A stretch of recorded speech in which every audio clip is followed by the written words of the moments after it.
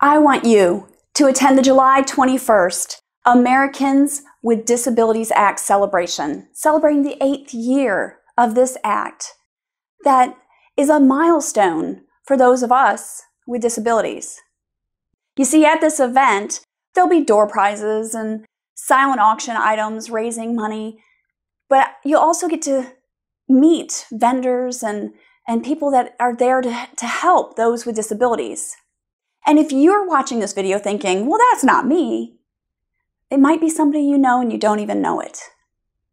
You see, not every disability has something that shows. Not every disabled veteran is an amputee. I'm Elizabeth McCormick, and I'll be your keynote speaker at this event. And what most people don't know from looking at me is that I'm a disabled veteran.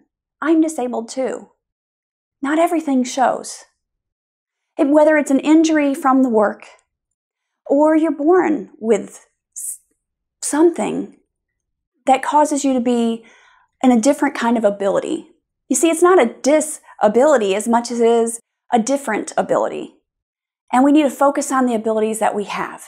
And that's what this event is about. So whether you are a disabled veteran, so whether you are someone or a caretaker to someone with a disability, or you just want to support the community, because taking care of our people that have these abilities is good for everyone. It's good for the community, and it's good for you. So come out and show your support. July 21st. The information's right here, and we'll see you there.